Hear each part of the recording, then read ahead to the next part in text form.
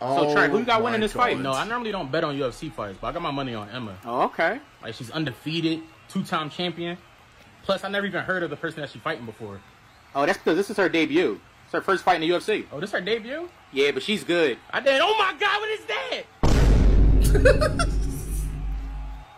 Whoa, what do you mean was that? That's her opponent, Catherine. I don't get it. How is her opponent a man? Excuse me? What did he say? That is a female. She no longer identifies as a male. Exactly.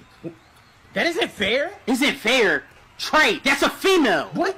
I can see his print. She didn't get the removal surgery yet, you ignorant bastard. Come on, ref, let's do this. I'm getting hard. Oh my God. I'm getting hard. Oh my God. Wait, what? I'm getting hard. I'm getting hard. Oh my god. Oh my God. I'm getting hard. Oh my God. We, yo, we, yo, we can't let this fight happen, yo. This is not safe.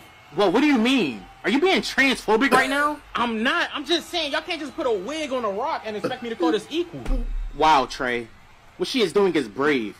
She's Brave? fighting for equality. She's like Rosa Parks with a penis. What? Oh my Fight. god. Get her, queen! Yes, queen! Yes, queen! Yes!